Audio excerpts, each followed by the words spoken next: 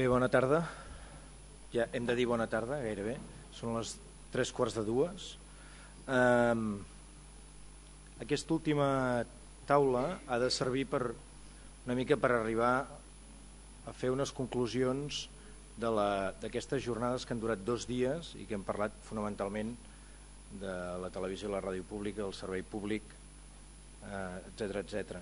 Eh, per tancar la taula, per tancar les jornades, aquesta taula té a la meva esquerra el, el, el degà del Col·legi de Periodistes eh, de Catalunya, el Josep Maria Martí, eh, la presidenta de la Societat Catalana de Comunicació, la Rosa Franquet, i la professora de la Universitat Autònoma de Barcelona, la Maria Coromines, que serà la primera en parlar i que d'alguna manera ens farà un, en podríem dir una crònica de les jornades, eh? dels trets eh, més importants d'aquelles idees més eh, destacades que han sorgit en aquests dos dies de jornades i gairebé comptat uns 15 ponents, eh? més o menys. Per tant, eh, si us sembla bé, dono la paraula a la Maria, quan vulguis. Maria. Bé, moltes gràcies l'organització de la jornada em va demanar si podia fer una mena de síntesi de cara a aquestes conclusions, de cara a aquesta sessió de conclusió. I realment una mena de síntesi l'he feta, però subratllo això que és una mena. Diguem, és una visió de les jornades entre ahir i avui i la comento ara amb vosaltres.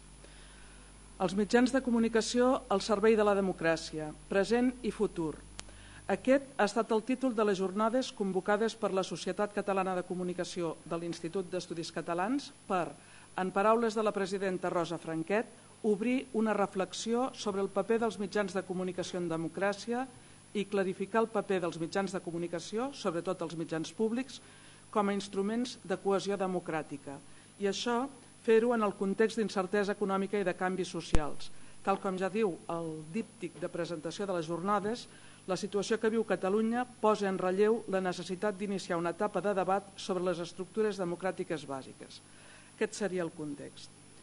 Servei públic i democràcia, amb negreta. Aquest va ser l'eix de totes les intervencions del primer dia, d'ahir, des de la conferència inaugural Quin futur té la radiotelevisió pública en l'horitzó 2020, a càrrec del responsable del projecte Vision 2020 de la Unió Europea de Radiodifusió, la primera sessió en què es va plantejar la pregunta s'han superat les missions bàsiques dels inicis, informar, educar i entretenir i la segona sessió del dia i darrere centrada en els valors afins al servei públic, el pluralisme, la qualitat dels continguts, l'accés i la participació de la ciutadania. Durant el matí i la tarda, 14 intervencions des de la taula, he comptat ponents i moderadors que entenc que també van fer les seves intervencions, i unes quantes més des de la sala, van aportar elements d'anàlisi i diagnosi sobre la situació i també algunes propostes d'actuació o d'intervenció. Avui hem continuat aquest matí en el mateix estil i fins ara amb les intervencions d'11 persones, diria jo, i algunes més des de la sala, avui menys que ahir, també potser hem tingut menys temps, i avui diria amb un èmfasi especial en el que és avui més el PSM, el Public Service Media, més que no pas Public Service Broadcasting, això fonamentalment a partir de les dues primeres intervencions, un èmfasi en el finançament i, d'una manera molt clara, en el que serien bones pràctiques o pràctiques concretes. Anàlisi i diagnosi.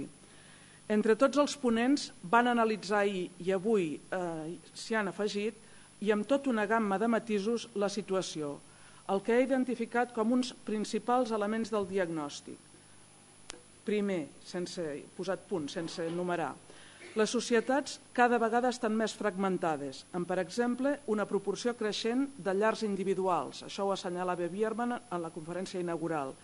També deia ell, i avui s'hi ha insistit, i han insistit tant Donders com Sondegard, que canvien els hàbits de l'audiència, sobretot entre els més joves. Un altre element en el que m'estendré una mica per intentar reflectir també el pes que s'hi va donar a la sessió d'ahir i avui hi ha hagut una, cometes, de construcció del sistema públic audiovisual, identificada amb aquesta expressió per Moragas i en una de les diapositives, i disseccionada, aquesta paraula és meva, per diversos ponents, començant per ell mateix. Entre aquests elements de dissecció d'aquesta deconstrucció del sistema públic audiovisual s'identificava, en primer lloc, precarització laboral. L'ofici de periodista és un ofici amenaçat, deia Puyal, i afegia els professionals cada cop estem més supeditats als interessos dels gestors i els propietaris dels mitjans de comunicació. S'imposa l'audiència com a objectiu, no com a condició. Una altra intervenció. El poder en la propietat ha despullat el poder professional, deia Terribas, i els professionals tenen por de perdre la feina. Continua amb els elements d'aquesta deconstrucció. Externalització creixent de la producció, assenyalava Moragas, fins al punt d'arribar, en paraules de Bustamante, al nucli del que hauria de ser el servei públic, els informatius. Tancament de cadenes, deia Moragas, amb el tancament de Canal 9 com a punt de no retorn, d'acord amb Bustamante. I ara hi podem afegir, i amb tota la reflexió i tota l'aportació que ha fet Javier Marzal, no només sobre el tancament, sinó sobre l'evolució de Canal 9, juntament amb alguns altres elements que es poden incorporar amb el que ahir també es va assenyalar. Continuant aquesta dissecció, regovernamentalització o partitocratització Contrari al principi bàsic de l'autonomia de la gestió del servei públic, argumentava Bustamante, i ho exemplificava ell, entre d'altres, amb els nomenaments per autoritats de regulació de persones sense experiència però amb militància partidista. Prado, per Catalunya, observava que s'ha retrocedit en el que s'havia avançat en desgovernamentalització dels mitjans públics, mentre que seguia la despartidització no s'ha arribat a produir. Terribas remarcava, entre d'altres, que hem conceptualitzat pluralisme amb quotes, temps d'antena dels polítics, i en una altra línia denunciava, i aquí el verb és meu, és com jo ho vaig interpretar, la dimissió de la intel·lectualitat de la participació en l'àmbit de creació d'opinió als mitjans i com els partits, com a correlat, com els partits transporten la seva influència en aquest àmbit. També aquest matí Xavier Sitjà ha abundat en aquesta relació, per exemple, en relació al Consell d'Administració de Ràdio i Televisió Espanyola els últims anys. Continuant la dissecció d'aquesta deconstrucció del sistema públic audiovisual, un altre punt que assenyalava en la diapositiva Moragas, afabliment dels ens reguladors, des de, en paraules de Bustamante, l'eliminació abans de néixer del Consejo Estatal de Medios Audiovisuales i la substitució per la Comissió Nacional de los Mercados i la Competencia a Espanya amb recentralització governamental inclosa, el dèficit democràtic que representa el fet que a Espanya no hi hagi òrgan regulador assenyalat per Terribes o altres consideracions en la mateixa línia referides a Catalunya. L'últim punt d'aquesta diagnosi de Moragas, que jo tingui consciència, no el va eh, recollir ningú ni ningú hi va aprofundir. El punt que assenyalava Moragas és polítiques de publicitat contràries als interessos de l'economia de servei públic. Que fins aquí aquest punt de deconstrucció del sistema públic audiovisual. Aquest element, des del meu punt de vista i en aquesta crònica, remarcaria que Puyal ho complementava amb una lectura comparada, l'expressió també és meva, de la Llei de l'Estat de Televisió Privada de 1988 i la Llei General de la Comunicació Audiovisual de 2010. Mentre que la primera començava definint la televisió com a servicio público essencial, a la segona era indústria i economia des de l'inici, i, ens deia Puyal, la seguretat de les empreses, dins del text de la llei de 2010, és anterior en el text a la protecció del, a la, a la protecció del ciutadà. Al costat de la deconstrucció del sistema públic audiovisual, Gifreu assenyalava que l'espai públic de comunicació s'ha convertit en una mena d'aparell de propaganda política i publicitària.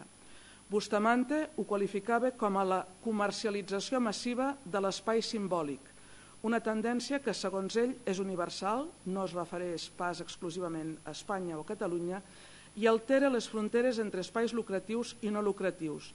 I Prado concluïa, finalment, estem en un cercle en què el domini de negoci està per sobre del domini de la concepció social de la comunicació. Tot torna a ser propaganda. I afegia un element nou. En el trànsit digital, argumentava Prado, ens havíem cregut que la ciutadania s'empoderava de la tecnologia i ens despistem, continuava, perquè tot i això hi ha una lògica comercial i de negoci que s'imposa a tots els empoderaments democràtics. I avui, aquest matí, també s'ha fet al·lusió a alguns elements d'aquest eix. El paper de la Unió Europea també va entrar dins del diagnòstic i ahir, identificada fonamentalment sempre com a Unió Europea, aquest matí s'hi ha introduït alguna diferència o algun matís. Donders ha distingit entre el Parlament Europeu, ni que fos de passada dient que havia tingut manifestacions a favor del, del servei públic, i la Comissió Europea. Des del meu punt de vista, ahir el paper de la Unió Europea va entrar dins del diagnòstic i va ser analitzat críticament. D'una banda, Seguint Bustamante, la regulació sobre els serveis audiovisuals separant la televisió punt a massa, la terminologia que feia servir ell, serveis lineals, podríem dir, i la televisió punt a punt, terminologia que feia servir ell, serveis sota demanda, podríem dir, deixant fora una enorme eclusió audiovisual de què s'estan beneficiant grans corporacions, i feia referència a Google, YouTube, etc. De l'altra, el mateix Bustamante també remarcava amb insistència el contrast entre la fermesa creixent de la Comissió Europea sobre el servei públic i l'actitud que permet la concentració creixent en televisió punt a massa, fins al punt que, subratllava, per defensar el mercat s'està eliminant el servei públic, però la Unió Europea, retrocedint en termes d'espai públic, també ho fa en termes de competència de mercats, allò que diu que vol defensar. També, va, també Terribas va fer al·lusió, es va referir o va remarcar la no intervenció de la Unió Europea per garantir la qualitat dels mitjans públics. Paraules d'ella, a Europa s'està construint el model nord-americà d'oligopoli i la Unió Europea no s'enfronta amb els grans grups mediàtics. Com deia aquest matí, Donders ha distingit entre el Parlament Europeu i la Comissió Europea. En el Parlament li atorgava capacitat d'intervenció o intervenció real més que capacitat i en canvi pel que fa a la Comissió Europea ella interpretava la poca intervenció que, que, que s'ha afegit, o sigui s'ha eh, adherit a aquesta interpretació, però ella la interpretava en claus de falta de competència en l'àmbit cultural, que no va ser el plantejament que hi va haver ahir. Unió Europea per una banda. Un altre element. Gifreu, per la seva banda, tot reconeixent el rol de la Unió Europea i de l'Organització Mundial del Comerç com a context, posava l'èmfasi en l'Estat. El servei públic és una institució comunicativa canviant en el temps que depèn de l'Estat, deia. És l'Estat qui pren determinades decisions o és l'Estat a qui les mateixes institucions europees encarreguen aspectes claus com la definició del servei públic o l'encàrrec de les missions de servei públic a la institució corresponent, deia. En aquest sentit, ell considerava que un, cometes, és, és les, les paraules són seves, un hipotètic estat català comptaria amb un precedent valuós a partir del primer mandat marc del sistema públic audiovisual català aprovat pel Parlament l'any 2010. També avui, aquest matí, en explicar el cas danès, Sondergaard ha fet referència a l'Estat i al model danès de l'Estat del benestar universal amb un paper important per al servei públic. Un altre element de la crònica, la cultura, en totes les seves dimensions, es va identificar com un element essencial en el servei públic, com a element essencial al servei públic. Bustamante ho expressava en termes d'unitat del camp simbòlic, els mitjans de comunicació, el servei de la cultura, del pluralisme i de la diversitat cultural. I en aquesta línia reclamava la necessitat de reinterpretar la trilogia clàssica del servei públic, informar, educar i entretenir des de la cultura. En una línia diferent, però crec que propera, Puyal, reflexionant sobre les missions del servei públic, subratllava que l'entreteniment no ha de ser un objectiu, sinó que ha de ser una via i una condició, i subratllava i remarcava amb insistència en cada territori per als ciutadans d'aquell territori. I ho va dir diverses vegades. També en termes de cultura, si bé des d'un enfocament diferent, des d'un altre angle, va analitzar la situació Roberto Suárez. Específicament va analitzar la incidència en el servei públic de la cultura política. És imprescindible que hi hagi un sistema de tallafocs entre l'Estat i el servei públic, va dir. De la cultura professional, en termes de qualitat i formació dels professionals i condicions laborals adequades, i de la cultura cívica, de consciència de ciutadania. Aquest matí, Donders i Sondergaard, d'una manera molt clara, també han aprofundit en aquest aspecte, sobretot en l'anàlisi del pas de Public Service Broadcasting a Public, a public Service Media. En certa mesura també en les intervencions o en la presentació de les, de les bones pràctiques públiques hi ha hagut algunes referències que es poden interpretar en aquest sentit. Un altre element del diagnòstic, la incidència del trànsit al digital, que ahir va ser objecte d'anàlisi específicament per part de Prado. D'una banda, deia ell, se'ns ha insistit que en aquest pas del trànsit al digital la pluralitat i la diversitat serien el correlat de la multiplicació de canals i el resultat és la concentració. Una cosa és el que ens deien que seria, però el resultat és la, la concentració, ja que continuava argumentant. En condicions de mercat i sense garanties regulatòries, el mercat optimitza les seves inversions. A més, remarcava que amb independència de concentració, per tant, ni que no hi hagués hagut aquesta situació de concentració, la multiplicitat de canals no equival a pluralitat, sinó a homogeneïtzació de continguts, com s'ha demostrat. Per ell cal multiplicitat de canals amb continguts diversos accessibles en igualtat de condicions i encara introduïa l'accés i la participació com un element bàsic. La praxi ha demostrat que la majoria de sistemes de participació que existeixen a través de la xarxa acaben inclosos en la lògica de la comercialització, explicava. Aquesta participació, entre cometes, no pot substituir la participació real, estructurada i estructurant de la societat, no com a individus. Alguns elements més que van sortir, mm, crec que amb menys importància, però que van eh, travessar el debat o les intervencions. La ciutadania. La ciutadania que, mm, Puyal deia, per exemple, no es queixa del funcionament del sistema comunicatiu, mentre que sí que es queixa davant del funcionament del mal funcionament d'altres sistemes. Per tant, no hi ha consciència que el sistema funcioni malament. Eh, Gifreu, el servei públic és discutit per voraços competidors i per nous ideòlegs de la liberalització total. alguns elements d'aquests que van ser més o menys recollits per algunes eh, intervencions, però en menor mesura que les anteriors. Un altre element d'aquestes característiques, la crisi econòmica. La crisi econòmica va planar i va ser explícit, va planar sempre, diria, i va ser explícita relativament poques vegades, almenys és la meva interpretació. Algunes de les vegades en què va ser explícita, per exemple, Bustamante va dir la crisi econòmica s'aprofita a Espanya i a la Unió Europea per una deriva neoliberal. Terribes. La novetat amb la crisi és que els diaris han passat a la concentració empresarial en molt poques mans, encara que amb multiplicitat de finestres. Aquest matí també hi ha hagut algunes referències de Donders, per exemple, explícites a la crisi, existeixo, d'explícites relativament poques, eh, de, de context pressuposat, eh, diria que en bona part han marcat la qüestió.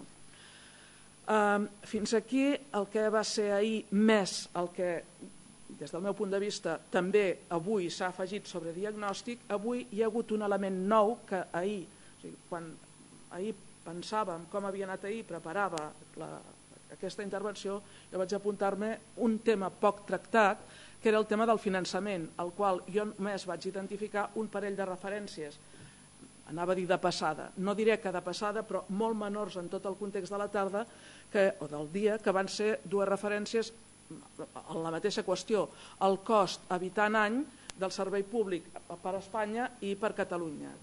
Avui, per tant, això que hauria estat fins ahir, avui ja no ho podem dir perquè el finançament, i si s'ha de reinventar el finançament o s'ha de repensar el finançament del servei públic o no, ha estat un dels eixos de la sessió d'avui tractat en, aquesta, aquest matí per eh, Karen Donders, que ha explicat els tres models bàsics de finançament, la necessitat de disposar d'un finançament adequat, tot i les dificultats que ella mateixa ha assenyalat o ha identificat de què vol dir, com es defineix un, un finançament adequat, com aquest finançament adequat que s'ha de plantejar en el marc de la Unió Europea, com després hi ha situacions molt diverses a cadascun dels estats, per tant, en un context de dificultat, ella, per exemple, aquí, quan ha parlat d'això, s'ha referit, fet una d'aquelles al·lusions explícites a la crisi, a com, com s'ha instrumentalitzat la crisi per dir la necessitat de retallar, doncs retallem una mica més.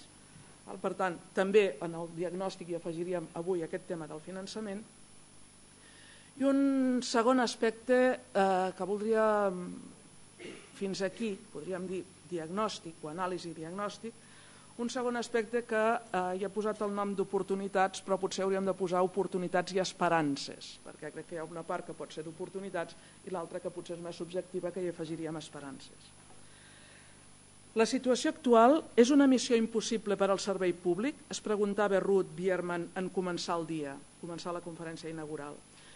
Feia una anàlisi, una diagnosi i responia no, hi ha una necessitat creixent d'espais o àmbits de reunió, de trobada de grups socials diversos i això només ho pot fer el servei públic.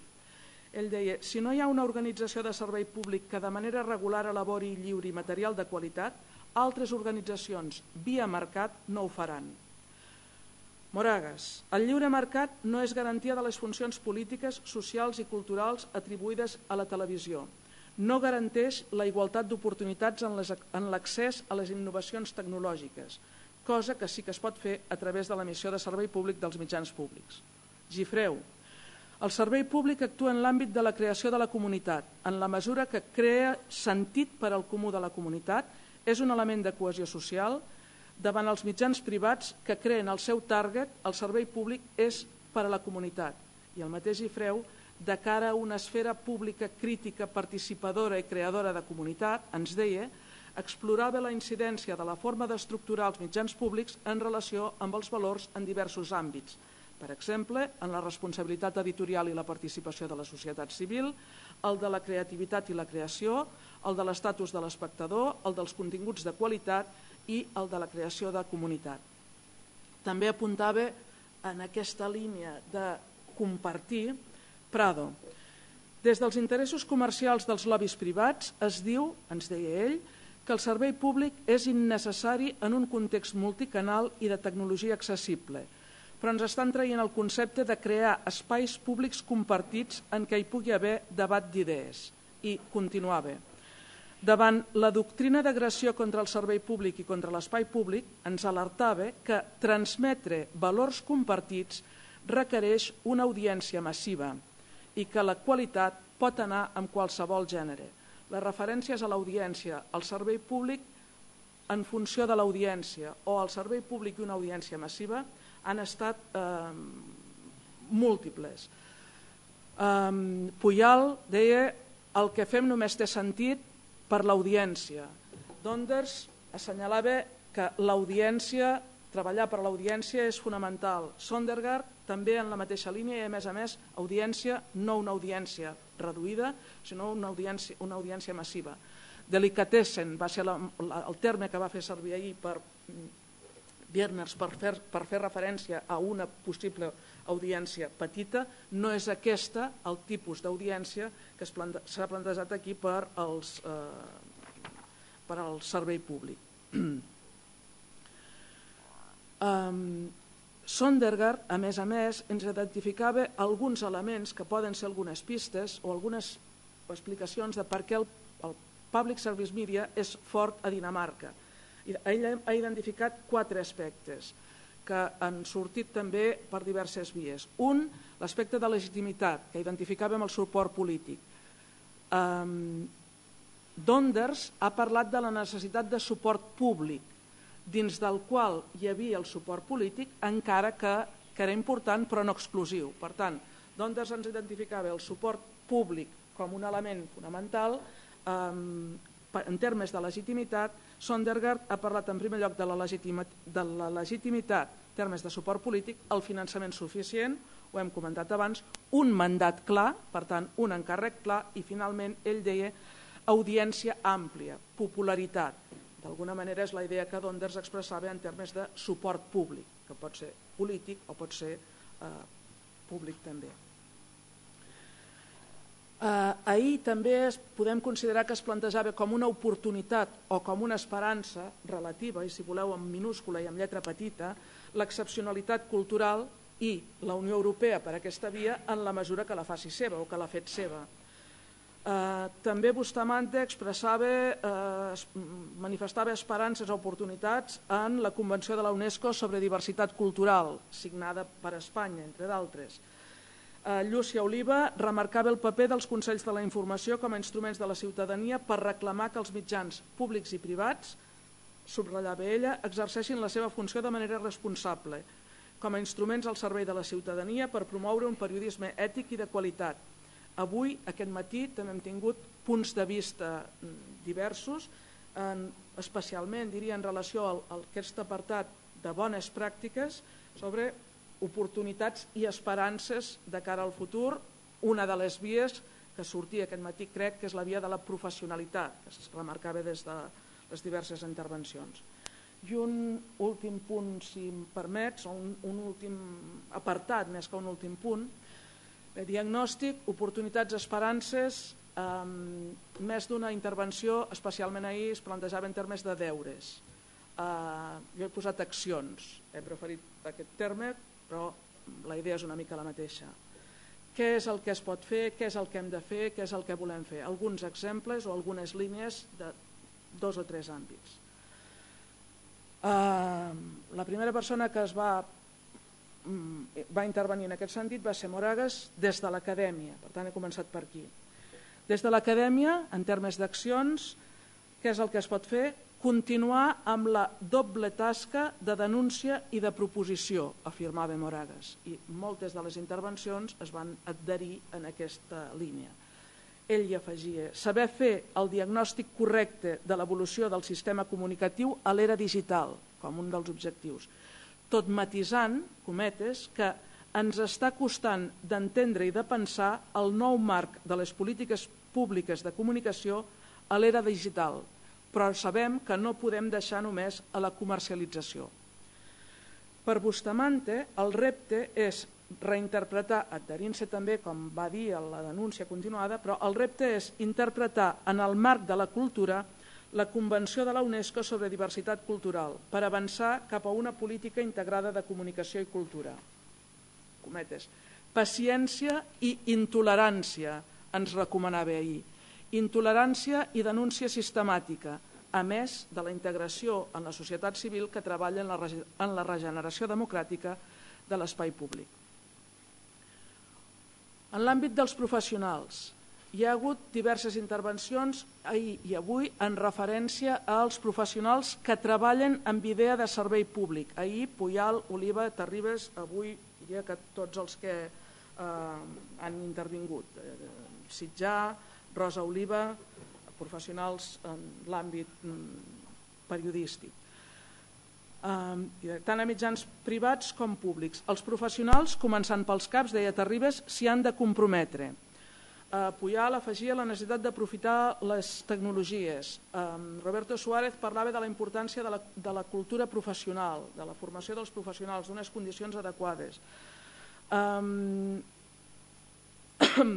Marzal, quan ens ha fet l'anàlisi del que passava, o del que havia passat a Ràdio mm, a Canal 9, Ràdio Televisió Valenciana, ha volgut explicitar que en aquella situació que ens estava dibuixant, però que a Ràdio Televisió Valenciana hi havia bons professionals en tot el període. Per tant, l'element de professionalitat s'ha explicitat de més d'una manera.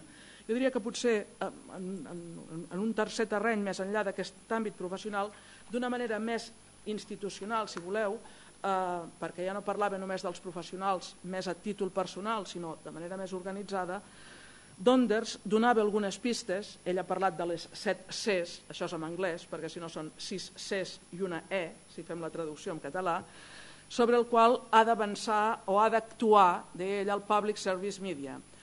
El contingut, Content is King, el primer que assenyalava i remarcava en ràdio, televisió i online, creativitat i innovació, segona C, eh, conservació, tercera C, conversa, quarta C, eh, la E, empoderament ciutadà, si fem cívic ja li funciona, nosaltres no, per tant, empoderament ciutadà, credibilitat i col·laboració. Uns aspectes que, de fet, eh, també apuntava ahir en la sessió inaugural, en la sessió de conferència inaugural, Bierman. I fins aquí aquesta crònica d'aquesta sessió que pretenia, o d'aquestes jornades que pretenia contestar si els mitjans de comunicació funcionen de manera que donen suport als valors democràtics. Jo diria que la resposta ha estat en general de hi ha vigència del servei públic i de les missions de servei públic en un context difícil, en un context en el qual hi ha oportunitats i reptes. Els desafiaments són molts, deia també Prado, garantir la participació, continguts de qualitat i pluralisme real via el servei públic, però també, i aquí han sortit i han emergit, hi ha diverses eines. I en tot cas, i acabo, el, eh, el, vam, quan vam començar la conferència vam començar amb una metàfora visual. Jo no posaré cap clip, però sí que vull fer un comentari sobre la metàfora visual o audiovisual que ens va posar eh, Ruth Birman. Ell va posar-nos un, un clip que eh, es veia un, un dia de pluja anant per la carretera, una carretera, i mm, circulant per la carretera s'arribava a un punt en què és una metàfora, es veia un riu amb aigües molt cabaloses i va plovent. Cadascú va interpretar com va creure oportú o com li va semblar, d'acord amb, el seu, amb el seu context, què devia ser o què devia representar aquell, eh, aquella aigua o aquell riu. És veritat que ell va tenir interès a dir-nos més d'una vegada que aquelles eren unes imatges agafades a Colorado. Jo la primera vegada vaig pensar que era il·lustratiu, la segona vaig pensar, ja m'ho diu dues vegades, i per tant això a mi em va fer interpretar això d'una manera concreta que potser no hauria fet. Llavors veiem com les imatges ens permeten veure com en un moment determinat, de cop i volta, hi ha una part de la carretera la carretera, un servei públic, diria jo, una cosa semblant a un servei públic, que s'enfonsa i se'n va riu avall. Um, ell va explicar i va dir bueno, de vegades doncs, el que fa l'aigua doncs, va per sota, no ho veiem i en realitat eh, de cop i volta eh, desapareix quan hi ha tot un procés de fons prèviament. Jo crec que aquestes jornades, si més no, han servit perquè per sota no hi va. Sigui, aquí ha emergit, s'han identificat i per tant si veiem que ve una riuada, doncs entenc que prèviament es pot prendre alguna protecció o algunes mesures de contenció o alguns tipus de mesures per poder actuar. I per tant, crec que una de les contribucions de la jornada és també que hem visualitzat aquesta metàfora d'una altra manera i per tant tenim algun recurs eh, per poder-ho afrontar. Fins aquí.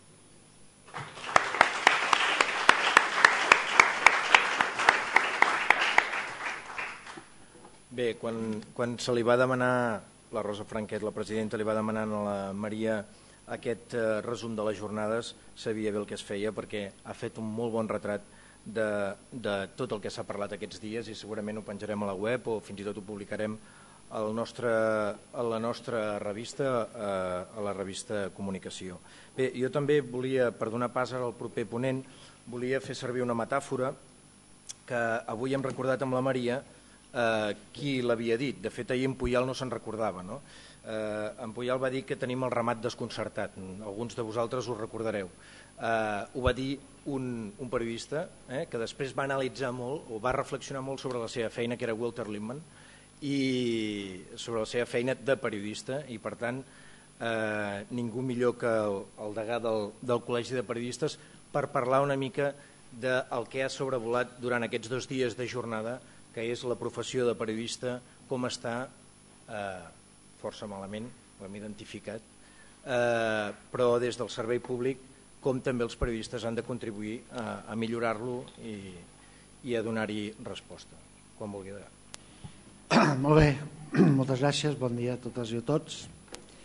Mm, en fi, com diria, eh, el títol porta present i futur, però jo crec probablement per l'edat i pels anys que porto en aquest sector professionalment, que com diu la cançó, el, el mal ve del mansa, per tant que ve de lluny. I el mal de la situació del servei públic ve eh, exactament de la transició espanyola i del model que aquell moment se va definir i com això ha estat condicionant fins a l'actualitat la pròpia evolució, la pròpia concepció, la gestió del servei públic. I crec també com ja el Xavier Sitjà ha apuntat una mica en les seves intervencions, que els periodistes si tenim alguna cosa a veure, no solament la culpa és dels polítics, sinó que crec que la culpa està més, més eh, compartida. Bé, eh, en fi, jo he estat degà, acabo ara aquests eh, últims quatre anys, i he assistit eh, els, prim, els primers anys de mandat eh, continuadament al tancament de mitjans de comunicació, primer privats i després públics. Me va sorprendre negativament el veure que algun mitjà públic local desapareixia sense cap mena de reacció. social. Em va preocupar molt, no? perquè em va donar la sensació que aquell discurs més o menys mitificador sobre el paper de la comunicació pública local doncs eh, s'anava una miqueta a Norris perquè alguna cosa havia, alguna cosa, alguna cosa havia, eh, havia passat. No? I després, com em sembla la meva vessant, de part de professional, també de persona de l'acadèmia, eh, tu, el que feia era prendre una miqueta de distància, que també ha de fer un periodista, no? i veure una miqueta el, el context. I veure, per exemple, que eh, mentre nosaltres aquí estàvem encara pensant si el servei públic era útil o no era útil, a Europa, en els anys 90, quan comença la plenitud de la de l'alliberament del mercat, eh, la liberalització del mercat, les ràdios i televisions públiques es plantegen d'una forma autònoma i a banda del poder polític el paper, la reconciliació del paper, de la funció que tenen en aquest context en el que la Comissió de, eh, Europea va fer un paper galdós a favor del lliure mercat i eh, molt eh, poc a favor del servei públic. Però bé, jo, jo vaig viure aquests anys perquè des de l'any 90 participo eh, professionalment en reunions, grups de treball i he estat escollit diferents vegades membre del Comitè de Ràdio de la Unió Europea de Radiodifusió. Per tant, he pogut seguir l'evolució d'aquest debat i he vist que realment el servei públic arreu eh, està, ha estat contínuament replantejant-se no solament en una actitud defensiva, sinó eh, pensant en aquella tàctica esportiva que diu que la millor defensa és un bon atac. És a dir, com, per tal, defensar-nos de atacant, és a dir, donant passos endavant i reflexionant seriosament quina és la funció que li toca fer al servei públic en l'actualitat, tant a la ràdio com a la televisió. A casa nostra, mentrestant, estàvem en un escenari de legalitat precària, sense que ningú es plantegés mai bé massa durant molts anys, que mentre que la ràdio i televisió pública anava creixent, anava creixent amb un model de la transició i neofranquista, per d'alguna manera, eh, com anava creixent en diferents espais i eh, en fi, no, no anàvem definint un sistema, al contrari, el sistema s'estava fent sol. I com a conseqüència de tot això, doncs és obvi que aquest sistema es feia a cops d'impuls eh, polític, no? i d'impuls polític, jo diria fins i tot partidista. I per tant, eh, com no hi havia un marc estable de funcionalitat, de gestió, de eh, criteris d'actuació, el que es anava fent és actuar en funció de qui governava. I a mi em sorprenia molt, jo vaig conèixer eh, i vaig tenir una relació personal amb el director de Relacions Internacionals de Radio France durant molts anys. Aquest senyor va estar sempre, era un càrrec d'estaf i va estar sempre, manés l'esquerra, manés la dreta, manés un president del govern, manés un altre. No? Per què? Perquè era un càrrec d'estaf, era una persona, un professional d'un equip de gestió professional que el que feia era gestionar d'acord amb un mandat que tenia, parlamentari o no parlamentari, i que l'únic que feia era, la seva valoració no era la visió política del que tingués eh, fins aquí estàs manant, sinó l'eficiència en la feina que feia. Això aquí era somiar truites. Per què? Doncs perquè home, hem vist que la tradició d'aquests d'aquests eh, darrers 30 anys és que eh, quan els partits s'acostaven al govern el que feien era dir, bueno, a part de la facultat de també tenim fet el control dels mitjans públics. I aquesta és una realitat eh, ostensible. Per tant, els que ells interpretaven, els periodistes que interpretaven, que no eren, en fi, eh, afins, per dir manera, o de confiança, doncs aquests eh, immediatament eren rellevats i substituïen els altres. En cap moment se valorava si aquests afins o no afins eh, eren eficients, perquè aquest és un criteri que no estava en la discussió. I aquesta és una realitat. I per això dic que no tota la culpa no la tenen tots els polítics, la culpa també la tenen els periodistes d'haver acceptat això i d'haver eh, callat i que els estatuts de redacció, és a dir, que, que després de no sé quants anys de funcionar Televisió Espanyola tingui l'estatut de redacció molts anys després. No? I que eh, les televisions eh, i ràdios locals, doncs, eh, en fi, estessin absolutament regulars per un patronat, però no hi hagués cap defensa professional, cap cosa que dignifiqués la professora. Acabo, sí, ja ho sé, el que passa que havia preparat una, una cosa més, però és igual, faré el resum. En conclusió, a mi em sembla que el col·legi què està fent ara? És a, dir, a part de, de fer necrològiques, és a dir, s'ha mort la televisió de no sé on, preguem a Déu per la seva ànima. El senyor alcalde no sé on ha tancat la ràdio de no sé on, preguem a Déu per la seva ànima i a veure què farem amb els periodistes. Fa, sí, faran una, faran una cosa digital, és a dir, es moriran de gana digitalment. Bé, perfecte, això fer col·legi, és a dir, assistir, fer necrològiques boniques, sobretot doncs, el, en fi, jo que no, no soc un literat molt dolent, doncs podria haver fet uns panegírics magnífics eh, de fer plorar sobre el que suposava la part de la comunicació. Però la realitat és que els mitjans desapareixien. Aquesta una. I l'altra cosa que vam dir, bueno, doncs, clar, a part de fer eh, panegírics i necrològiques, per què no fem alguna cosa positiva? I vam convocar a patronals, sindicats, eh, mitjans, tothom, a fer una taula al sector de la comunicació en la que parléssim d'un problema que era més profund que el de la ràdio de la televisió pública, que era què fem amb el sector de la comunicació a Catalunya. Us he de dir que la resposta del sector privat, dels sindicats, sé, va ser molt positiva, la resposta del, del, seu, del sector públic va ser més aviat escassa. Entre altres raons, probablement per un tema de representativitat, no? per un tema d'implicació, de dir què faran aquí, no? de, on està la resolució del nostre problema. I bé, hem vist que el problema, desgraciadament, ha tocat eh, le noyau dur, que diuen els francesos, el nucli dur, que és la corporació. Mentre se van morir ràdios petites i televisions grans, doncs, més o menys les necrològiques, eh, però no hi ha grans expressions de sentiment, però ara hem tocat eh, més coses. No? I a més a més, com ens ha agafat sense haver reflexionat sobre quin era el model, és a dir, quina era la funció del servei públic de ràdio i televisió de Catalunya en aquests moments, en aquest context actual, amb aquest canvi d'escenari, sense haver reflexionat tampoc sobre quin era el model productiu, és a dir, com farem les coses, a partir de quins, de quins criteris, què externalitzarem, què no, com ens organitzarem. Perquè, clar, tenim un model analògic i estem en un escenari digital en la que el servei públic molt, pot fer molts papers però ha de canviar la seva estructura i també, últimament, també una cosa que sembla que sigui pecat, però que anem de parlar, el model de negoci.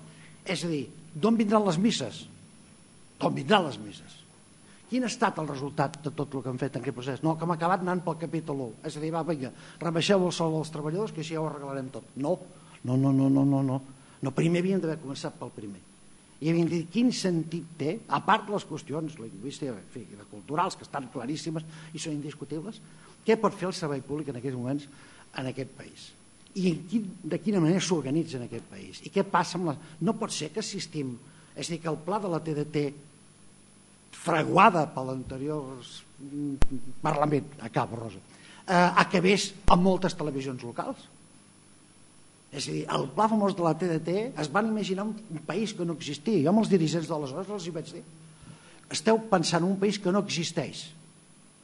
I per tant, el camp de Tarragona, que és que jo conec, no hi caben quatre televisions privades, perquè acabareu amb totes les televisions. I com de fet hem acabat. És a dir, estem en un context en el que em sembla que en aquest país li fa falta un debat seriós sobre el paper del servei públic i sobretot com li donem estabilitat, com el gestionem, com li donem estabilitat i sense amagar el cap sota l'arma el tema del finançament. Si hem d'arribar a la conclusió de que la manera de garantir-ne la continuïtat, l'estabilitat i la funcionalitat està anant a pagar, doncs paguem. Siguem capaços de dir això. Ah, això sí, en aquells moments aixequem les mans del, aixequem les mans dels mitjans, deixem que els mitjans siguin, facin la seva feina, la facin amb un control social no estrictament polític, que, que els seus gestors donguin comptes d'acord amb el que han estat nomenats, amb el seu caia de xarges, que diuen els francesos, i a partir d'aquí probablement tindrem un servei públic diferent del que estem tenint. Les reflexions acadèmiques i acabo, perquè la Rosa em farà fora, tot i que soc coorganitzador però em farà fora eh, les jornades d'avui ha donat, jo crec que el més important és que ens ha permès fer i que ha permès que tots els assistents féssim una miqueta aquesta visita cap a fora. Quin és el problema? Que els debats, el senyor, el primer que va obrir la, que no me'n recordo el nom, eh, la primera conferència, aquest bon home jo el, el, vaig seguint al govern des de fa dos anys, està tombant per veure com el servei públic se n'està sortint a tot arreu, quines propostes fan, què és el... És a dir, estan en un nivell de debat que nosaltres encara ens agafa com podem pagar el sou a final de mes i com podem fer coexistir eh, com pot tenir continuïtat el servei públic de la televisió, que per un país com el nostre, amb una llengua i cultura pròpia, és essencial i vital.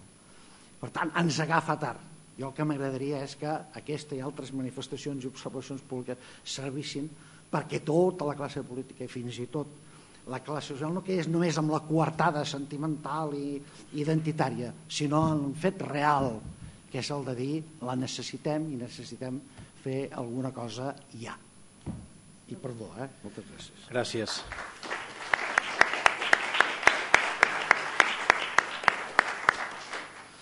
Hem de demanar disculpes al, al degà del col·legi perquè l'hem fet eh, anar molt de pressa, però és que durant tot el matí ens hem anat eh, retrasant i, i ara doncs, anem tard perquè ja ens espera, ja fa un ratet, el secretari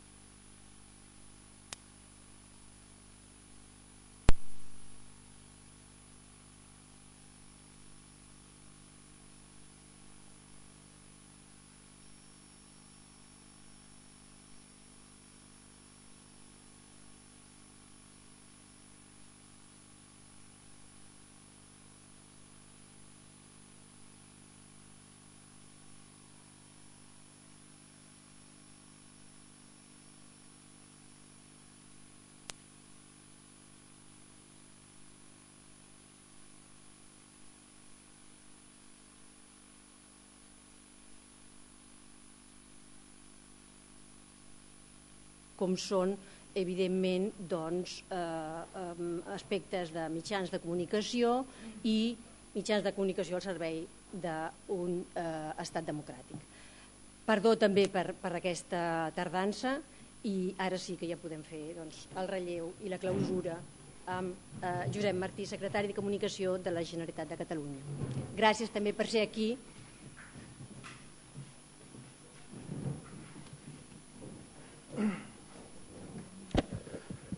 Bon dia a tots i a totes. Després d'escoltar de, a les patums de, de l'acadèmia i a les patums de la, de la professió i a la patum de l'organització col·legial, sembla l'hora que és, que és l'hora de, de dinar i porteu tot el matí treballant, eh, escoltar algú que ara té responsabilitats polítiques i que per tant parla com a, com a polític, eh, entenc l'interès que us pot despertar i per tant anirem molt, molt ràpid. Mireu, la primera cosa, eh, felicitar els organitzadors pel programa. Jo volia vindre, volia vindre ahir. Ahir vaig estar tot el dia a Madrid a la gent, amb la gent de l'agència EFE. Este matí tampoc he pogut vindre. Vaig enviar dues persones de la secretaria que s'han passat les jornades aquí i prenen notes veient el resum que n'ha fet la, la professora Coromines, veig que no tenia sentit enviar-los perquè eh, amb el quart, quart d'hora d'escoltar-la m'he fet eh, la idea del que, del que ha passat en aquesta sala durant aquests dos dies, tot i que ells m'havien passat resums executius de les, de les intervencions.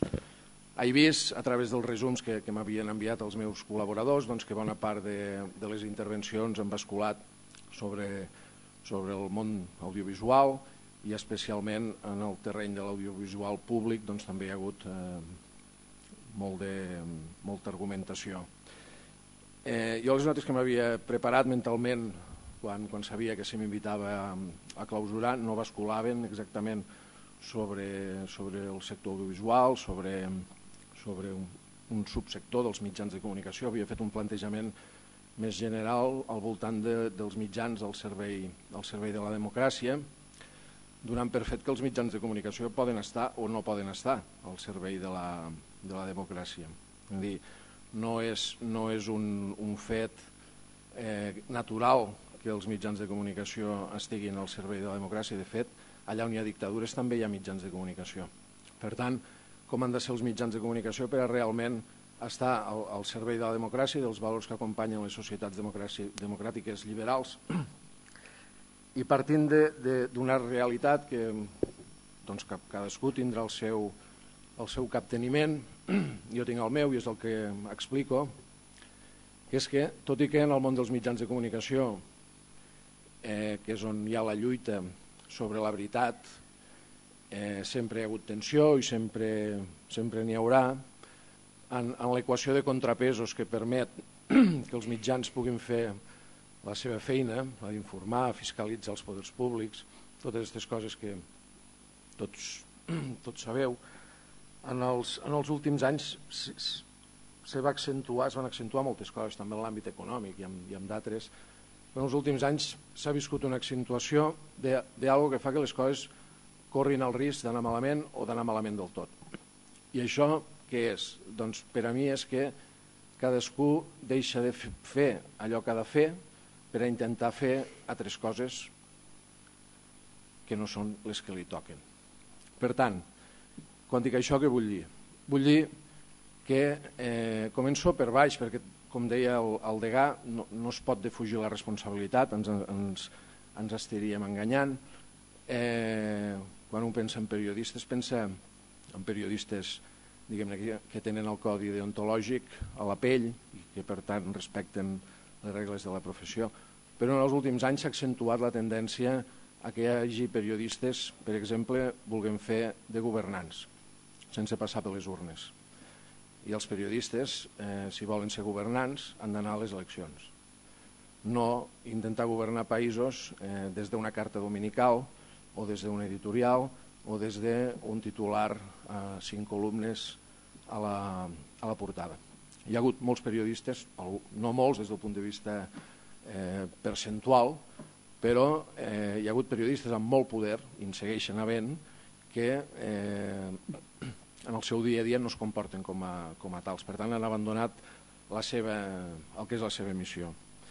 Hi ha hagut editors que han abandonat la seva missió, Eh, vaig a buscar un exemple de lluny perquè no sigui, no sigui dit. Eh, L'escàndol de, de Murdoch, que, no que, que va requerir la complicitat de periodistes per poder-se produir, jo trobo que és l'exemple més clar d'editors que traeixen l'obligació de l'editor, que és entendre d'altres coses que està eh, en, un, en un sector molt particular que no té sentit eh, sense un acompanyament d'uns valors que jo situaria pràcticament en el terreny de lo sagrat. No? És a dir, editors que han abandonat la, la seva, allò que han de fer per a passar a fer una altra cosa que no és la que haurien. Entre altres coses també enderrocar, enderrocar governs. Vull, vull deixar clar que això no ha passat només els últims anys, això ha passat sempre. El que passa és que eh, segurament la intensitat en la que, en la que s'ha viscut. Després hi ha hagut els polítics també, els polítics estan per fer política i és legítim que facin política i l'han de fer, però els polítics eh, tampoc està bé que intentin fer de, de periodistes.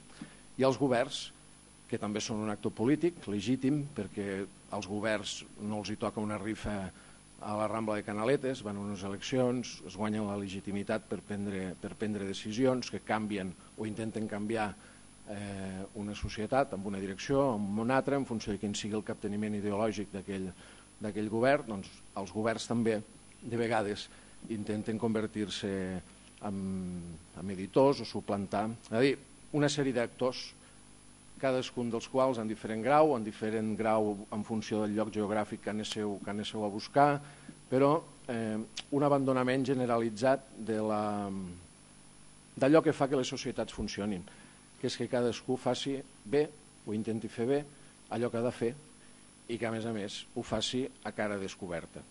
Oi? Dir, ensenyant la cara, ensenyant les credencials i dient jo sóc això, faig això. I el govern governa, els polítics fan política, els editors editen i defensen els seus periodistes i els periodistes fan periodisme. El periodisme per a mi, tot i que ara hi ha una campanya d'un gran diari català que eh, s'agafa la definició de que el periodisme no és explicar els fets, sinó explicar, explicar per què passen els fets. Eh, jo en això no acabo d'estar d'acord, però el periodisme és explicar els fets, però explicar-los de tal forma que es donen les claus per a que la gent, que és més llesta de la que moltes vegades eh, ens pensem, no? Eh, no cal explicar-li per què passen les coses, el que cal és explicar-li a donar-li les claus per a que pugui interpretar i arribar a les seves pròpies conclusions, perquè d'això es tracta. No es tracta d'adoctrinar ni en un sentit ni en un altre. Eh, per a que això s'endreci, jo trobo que el camí s'ha de recórrer a l'inversa i tothom ha de ser clar quina és la cosa que li toqui fer bé i, i quin és el seu paper en aquesta societat liberal democràtica, que, eh, de democràcia representativa liberal, governs governar, polítics fer política, periodistes periodisme i editors editar. Deixa clar també que les cadenes que un se posa al turmell eh, per esclavitzar-se poden ser de moltes classes, poden ser cadenes polítiques, és a dir, un pot, pot acabar sent esclau del, del poder polític, amb més facilitat si es deixa, com ha passat a, en alguns llocs, no cal posar, no cal posar noms. Pot ser Pot ser que el grillet que es posa al turmell sigui, sigui econòmic, i és veritat que hi ha molts mitjans doncs, amb una situació econòmica molt difícil doncs, que a la millor per, per subsistir eh, poden fins i arribar-se a plantejar plantejar-se o decidir que val la pena aixafar algunes ratlles vermelles, és una cadena econòmica, la cadena política que deia abans, però després també eh, poden haver cadenes eh, l'esclavatge acaba sent el mateix si el, el, el grillet que et poses al turmell és ideològic. I aquest eh, normalment no, no se'n parla, eh, però també, i, i, i no depèn ja de la pressió de grans, de grans eh, corporacions financeres o del poder polític, a vegades un mateix s'acaba a la seva taula de treball es pot acabar posant un grillet ideològic que el converteix en un esclau d'una determinada manera de les coses i que l'allunya dels fets. Bueno, doncs el periodisme una mica, eh, si, ha, si, ha de, si ha de ser, si ha d'estar, si els mitjans han d'estar, perquè poden no estar-ho, si han d'estar al, serveis de, al servei de la, de la democràcia i els valors que acompanyen a la, a la democràcia, hem, hem de recórrer aquest camí una mica, una mica a la, a la inversa. Llavors, eh, el govern que fa com que jo sóc el secretari de govern i no, i no de, de govern, no, el secretari de comunicació del govern, eh, i no defujo la, la responsabilitat de parlar com a, com a tal, entenc que eh, tot això que jo ara explicava, de caràcter general i aplicable segurament a, totes les, a tots els, els països, estats occidentals i, i opulents, eh, o opulents fins, fins fa un temps, que jo no, no, no portés això a casa nostra, que és on, on jo jugo un, un paper com a, com a actor polític. Jo entenc que, que el, a l'hora de mirar a Catalunya doncs, un pot legítimament i en molts de casos en, en raó eh, agafar el, el, el bolígraf vermell i censurar algunes, algunes qüestions i probablement eh, si estiguéssim sentats en una taula al voltant de cafè parlant de, de, de, de com tenim les coses aquí, doncs, algunes de les coses que vostès escriurien en, en vermell, jo fins i tot les podria, les podria compartir. Però eh, el que voldria és posar l'accent en, el, en, en allò que a casa nostra eh, ens fa una miqueta diferents al que, el que ens envolta. Eh, en el terreny de la pluralitat, en el terreny de la pluralitat dels mitjans, i no parlo de mitjans públics i mitjans privats, parlo en conjunt, és a dir, a l'espai de comunicació català, jo fa, de fet encara m'acusen avui, ahir va haver un diari estatal que va fer una plana sencera eh, dient que jo era McCarthy, eh, vaig encarregar fa uns mesos un estudi a la, a la Universitat Blanquerna, que està penjat a la web íntegrament, per tant el, el, podeu, el podeu consultar, perquè eh, una de les coses que em sento dir cada dia, i sobretot quan vaig a, a Madrid, és que a Catalunya estem sot, tots sota un paraigües de, de pensament únic, que no et pots moure de la, de la fila perquè si no t'assenyalen i, i, i et castiguen. No? I que els mitjans de comunicació d'aquí treballen tots sobre este, amb un corset molt apretat de pensament únic. Escolti, això és veritat o no és veritat? Anem a fer un estudi qualitatiu i quantitatiu per posar xifres. I aquest informe, que des d'alguns mitjans ha estat presentat doncs, com, una, el que deia, com un retorn del macartisme, jo el defenso en públic, eh, el que diu és que l'espai de comunicació català és més plural que espais de comunicació que en són, que en són veïns. Eh, tenim un Consell de l'Audiovisual de Catalunya, que és millorable, sí, que no funciona a la millor tot el bé que l'acadèmia o que els propis professionals entenen que podria funcionar, sí. Que és l'únic que hi ha a l'Estat? Sí. Que és l'únic que toca els nassos a les televisions quan programen coses que no han de programar en horari infantil? Sí. Doncs, doncs millorarà, millorarà perquè la tendència és obligada de millorar i el poder polític està aprenent que el temps present és un temps diferent i que s'han de fer les coses diferents, eh, tenim el, el CAC. Tenim uns mitjans públics que, eh, efectivament, tradicionalment i encara ara eh, les persones que els dirigeixen acostumen a canviar amb els, amb els canvis electorals, però tenim uns mitjans públics que el secretari de Comunicació del govern no és el cap d'informatius. I això, a, a llocs que són veïns, passen, passa. I per això tenim una televisió i una ràdio públiques eh, la ràdio no, però gairebé, però tenim una televisió pública que es mira el, més del 16% de la població, perquè la gent hi confia i perquè saben que els informatius d'aquella televisió no els fa el secretari de comunicació, que els faria d'una altra manera i que intentaria que cada dia m'aplaudissin a mi i al, i, al govern pel qual, jo, pel qual jo treballo. Que hi ha pressions? I tant que hi ha pressions, sempre hi ha pressions, tots els partits pressionen i tots els governs intenten que la seva manera d'entendre les coses eh, sigui la que acabi predominant, però això forma part de la vida i de les, de les relacions socials. Nosaltres aquí, això podria estar més a resguard, probablement, però eh, entenc que també val la pena dir que a Catalunya els treballadors públics han sigut més conscients que d'altres llocs de que s'havien de defensar de segons, quin, de segons quines ingerències, i ho han fet, i els mecanismes de control funcionen i els informes de pluralitat funcionen. Millorable, torno a dir, sempre. Eh, posar en valor el que, el que es té, també. D'això, davant dels mitjans, els mitjans públics, eh, jo com a secretari del govern vull també un país on hi hagi mitjans privats, competint amb els públics, no en detriment dels públics, però com a complement, i vull mitjans privats que siguin responsables, en editors que siguin responsables, que sàpiguen quina és la, la funció d'un editor i en periodistes, si pot ser, eh, pagats dignament. Això eh, és algo que a través de la mesa, que és una iniciativa pionera a l'Estat, doncs anem treballant, és difícil, però entenc que la voluntat del, del govern hi és.